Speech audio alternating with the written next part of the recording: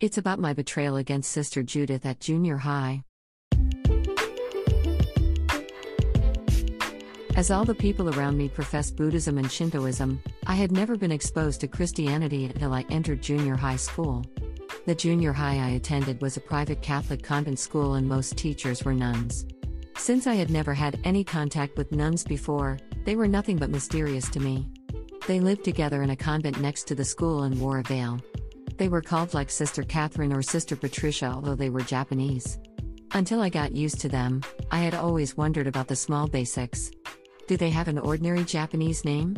Do they really stay single for life? Are they bold under a veil? Yes, yes, and no. I gradually learned the answers. I had studied English quite hard to catch up with other students who came from the same convent's elementary school that gave them a head start in English education. One teacher, called Sister Judith, happened to know that and kindly found a pen pal for me. While students mostly didn't like sisters, she was an exception. She was popular because she was friendly and beautiful. Students also respected her since she graduated from one of the most renowned universities in Japan and as the smartest sister at school. The school had the very rigid rules for uniform. If an irregular bag was spotted, it would be confiscated. I carried my personal small bag into school one day in addition to the big uniform bag, and Sister Judith caught me. She said she had to confiscate it, and I begged her not to. I promised her I wouldn't use it for school ever again.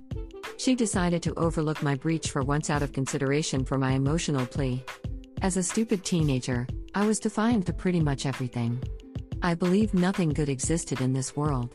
So I took my irregular bag out of my uniform bag again as soon as I passed through the school gate after school that day. I was walking toward the bus stop with the bag dangling. Someone called out my name from behind. It was Sister Judith. She didn't return to the convent as usual and left for an errand on that particular day. She didn't confiscate my bag, though. Instead, she was crying. I trusted you and that was why I let you go. But you betrayed my trust. I'm bitterly disappointed in you, she said quietly and walked away. I felt it was much better that she yelled at me and took away my bag.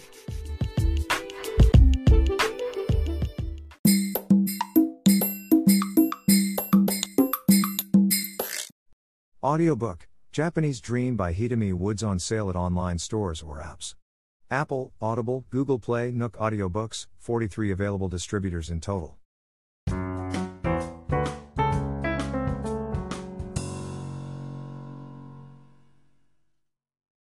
I report the true culprit of my skin trouble. From January of last year to October, I'd had terrible skin trouble on my face. I had eczema mainly on my cheeks that were itchy and peeling. The condition was too bad to be covered up with makeup, and I was in a mess. Since I'd never had that kind of problem before, I couldn't figure out the cause.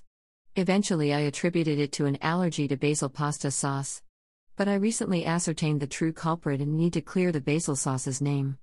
My apartment building has a spa which fee is included in the monthly maintenance fee from the resident. The privilege of using it with no holds barred and the fact I'm cheap send me to the spa every morning and evening. Not using it is a big waste of money for me. At the spa, a hot tub, a jacuzzi, a sauna, and a cold water tub are regularly available. And during the busy times such as the summer holidays and the winter skiing season, an extra hot tub is operated.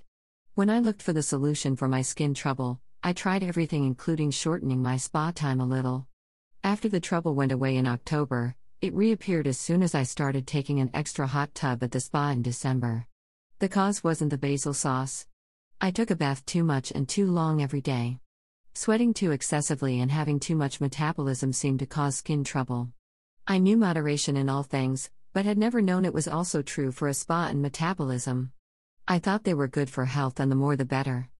I've read or heard everywhere that metabolism is essential to health, and had never thought it also required moderation. It amounts to this that I was too healthy. I reduced time and the frequency for the spa drastically, and my skin trouble quickly disappeared. The free spa was my favorite relaxation. Now, spending less time at the spa every day, I feel as if I leave an all you can eat buffet after only a few bites each time. My good old days of sweating in a sauna as much as I want and relaxing in a jacuzzi as long as I want are over. And to make matters worse, now that I'm careful not to sweat too much, I've gained a few pounds.